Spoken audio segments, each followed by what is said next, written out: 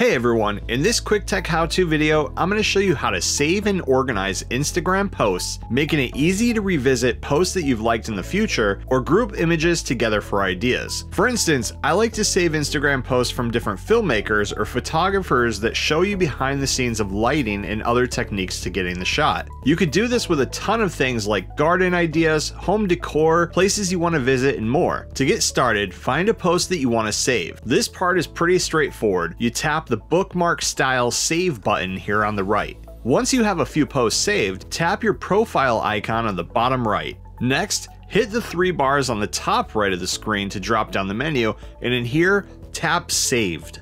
If you haven't organized any of your saved posts yet, all you're going to have is this All Posts collection. In here, you'll find all of the Instagram posts that you've saved. To group them, go back to the Collections page and tap the plus sign on the top right. Name your collection and hit next. Select all the posts that fall under that collection and then tap done at the top right. You now have a new collection that has grouped all of the posts that you've chosen, and you still have the all posts collection in case you want to go through everything at once.